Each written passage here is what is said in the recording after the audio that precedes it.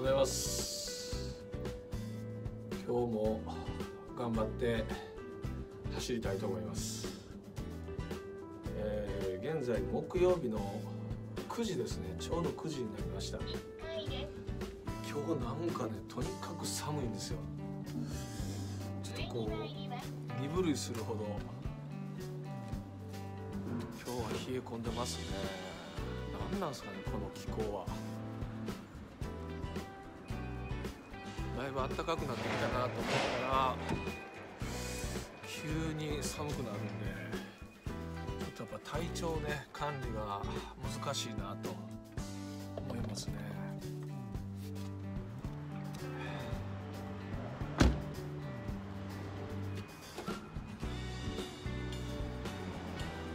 え、膝の方はそうですね。座ってて立つ時に結構痛いんですよね。ただまあこうやって歩き出すと3日前よりはちょっとマシなんですかね。ただちょっとやっぱりガツガツね走ったりするのは難しいなということで今日も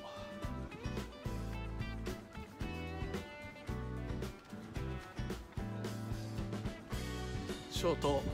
ハーフいきたいと思います。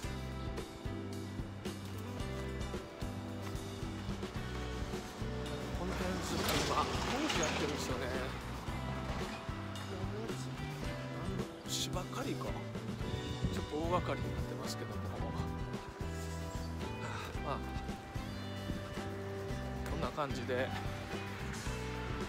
走るは走れるんですけど。やっぱり痛みがあるんでもうゆっくりゆっくりですね。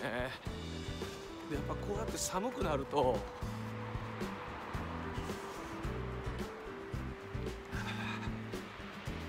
体の節々が痛くなる可能性がありますよね。で今ある出来事をきっかけに、まあ、今回のね腸活についてさらに深掘りして勉強するようになって分かってきたことが結構あるんですけどもこうお腹を冷やすとまあダメみたいな話ありますよね。あれなんかやっぱ腸が関係あるんですよね。腸内細菌が活発に活動できるというかねいい状態になるのは37度ですからお腹を冷やすと、まあ、腸が冷えていくんですよ。ですから最腸内細菌が活発に活動できなくなってちょっと不具合の中の腹痛が起きたりするというふうに考えられるんじゃないかなと言って最近で思うようになりました。だいたい37度ぐらいらしいです。腸内細菌が活発にね活動できる温度が。それを下回るとちょっとやっぱりこう細菌腸内細菌が活動しづらくなってちょっと不調になったりするという可能性があるということがなんとなく分かってきたということなんですよね。だから今ちょっとあるプラットフォームを使っていろんな人とつながり申請を、えー、使ってであのー、まあメッセージ個別でメッセージを送り始めてるんですけども、まあ、それに対して結構ね返ってくるんですよね。で1人乳酸菌のパイオニア企業とのタイアップで、まあ、何か活動されてる方がいらっしゃるということで、まあ、その商品はどういった方々と一緒に、えー、制作開発されたんでしょうかという質問がありまして向こうからもぜひ話してみたいということで、えー、まあ、来週以降ですねオンラインで話をすることになっています。多分乳酸菌パイオニア企業やから明治乳業とか結構大手やと思うんですよね。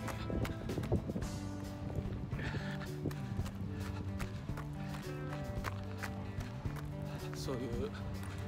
ヨーグルトとかね。あと R1 とかヤクルトとか、まあ、多分そういったところの企業とのやり取りだと思うんですよね。ですから意外とまだその乳酸菌生産物質 NHK でいうメッセージ物質、まあ、そういったものっていうのがあんまり世の中に出ていなくて本当はそこが大事なんですけどもそれ自体がちょっとあんまり伝わってないということだと思うんです。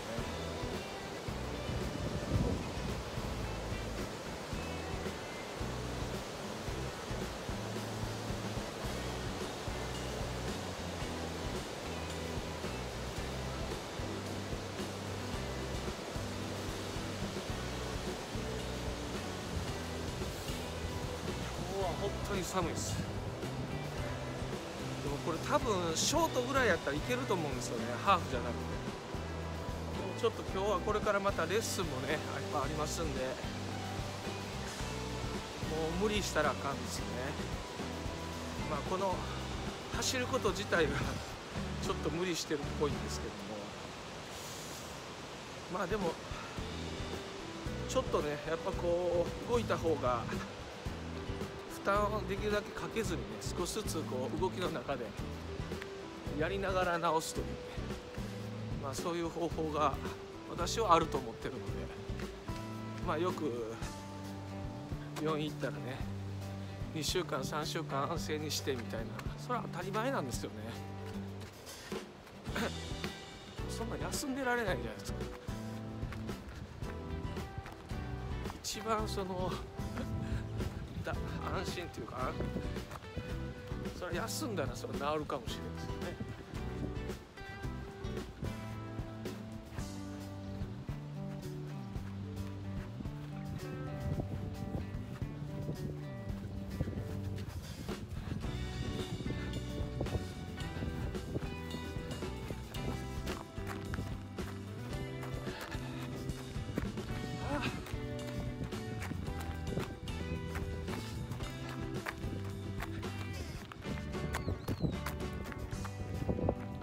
寒こ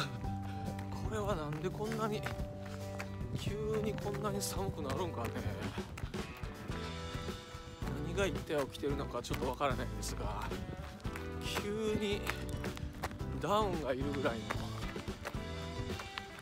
冷え込みになってますね。なんか今日はこれなんか制限されてますね。通れないんですかねあそこ。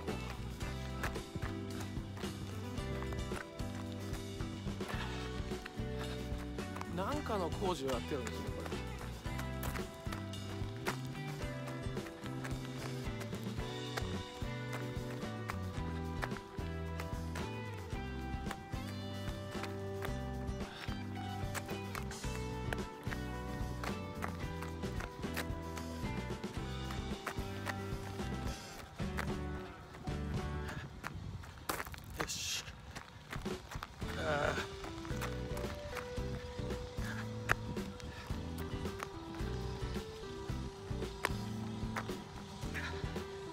分これ右足にまた負担がかかってますので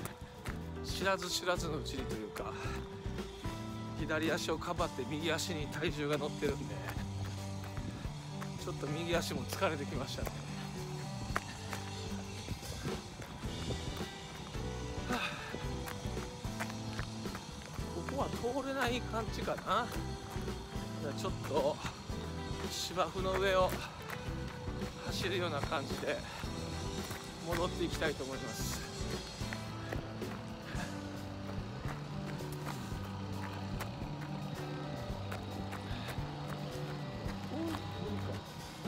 通れないな。こっちやな。もうあんまり余計なこと考えないでこっちを戻っていきたいと思います。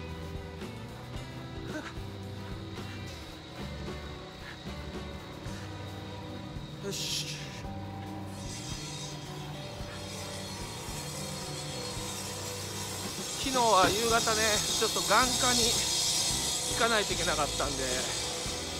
まあギリギリまでちょっとワックにいてあとはちょっとハードワーカーに任せて昨日はまあその眼科行った後はもう帰るというような状態です、はあ、6時半かな？7時ぐらい。6時半ぐらいに出たんですかね。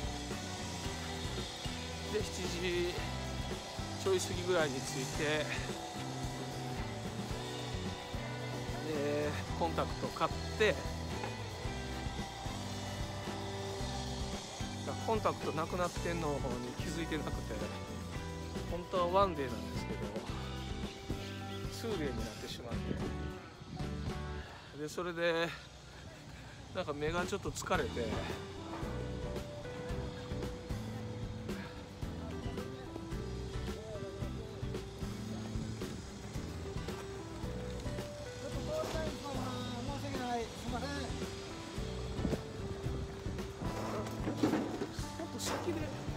案内してくれたらいいですね。ギリギリまで来て通れないって言われたんでちょっと。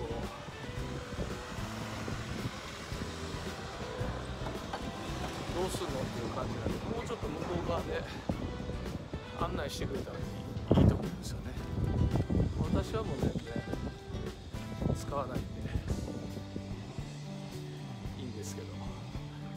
自転車がねバーッと走っていくんで急に止まれなかったりするんですよ。